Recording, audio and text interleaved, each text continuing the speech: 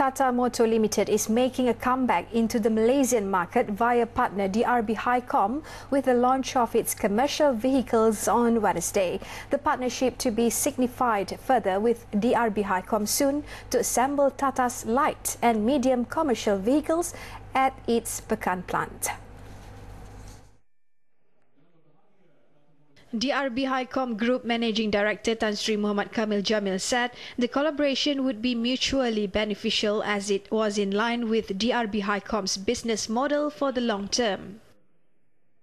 It's, it's, it, it has always been our, our modus operandi and our business model is that we look for a long-term solution. Uh, we don't look for a, you know, uh, importation and then the, uh, selling cars. Uh, we have to work with the uh, uh, Tata Group as well as the, as, as the Malaysian authorities to look into how do I or we optimize the uh, relationship um, to go by way of CKD and, and, and perhaps in future we can have a joint collaboration in respect of a uh, common vehicle.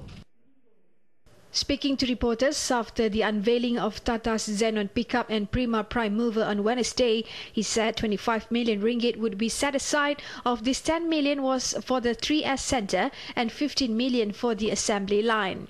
Tata brand in Malaysia will be marketed by DRB-HICOM Commercial Vehicles in Berhad, which currently is contributing 20% revenue to DRB-HICOM's auto division.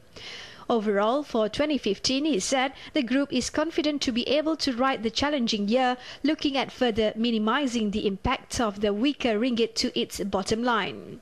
He, however, believed the impact would be temporary as the country's economy target is still in growth trajectory.